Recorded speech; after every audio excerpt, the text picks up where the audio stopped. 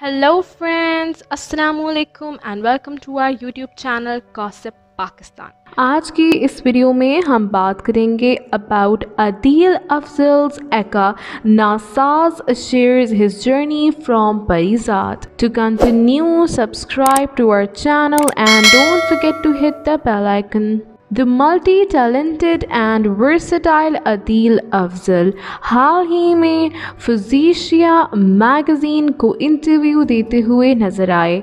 अदील अफजल ने drama serial परिजात से अपने सफ़र का तस्करा करते हुए बताया, कोविड के वक्त में मुझे जाहिद का फ़ोन आया, जो हम टीवी पर काम करते हैं।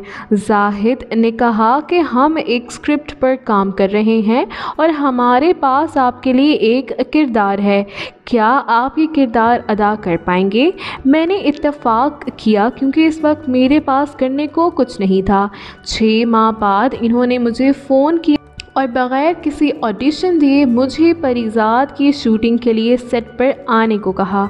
अदील अफसल उर्फ़ नासाज ने अपने सफ़र परिजात से शेयर करते हुए कहा कि मुझे नासाज का किरदार निभाते हुए बेहद मज़ा आया, क्योंकि ये मेरी अपनी शख्सियत और मेरे इर्द गिर्द के कुछ लोगों से काफ़ी मिलता जुलता था। सामयीन ने जो जवाब दिया, इससे बहुत मुतासर हुआ।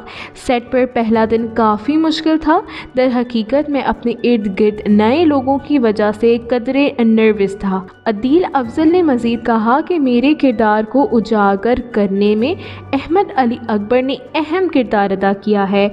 मेरे मनाजिर के दौरान वो हमेशा मेरे साथ रहे। शूटिंग से पहले अहमद मेरे पास आए और स्क्रिप्ट में मेरी मदद की। इनकी अदाकारी और ताउन ने मुझे नासाज के किरदार को इसी तरह पेश करने में मदद की। सो so फ्रेंड्स आज की इस वीडियो के बारे में आपका क्या ख्याल है? कमेंट सेक्शन में हमें ज़रूर बताइएगा।